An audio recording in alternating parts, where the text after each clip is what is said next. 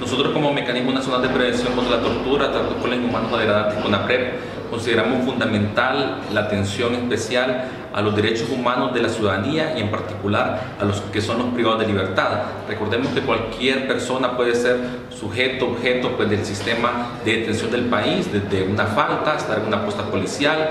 Eh, el mandato nuestro va dirigido pues, a todo privado de libertad, ya sea en cárceles, hospitales psiquiátricos, centros de niños, hogares de ancianos, centros de inmigrantes.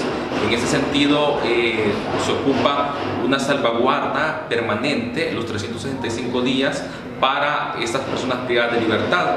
Consideramos fundamental la atención del Estado, la voluntad del Estado eh, en respetar esos derechos.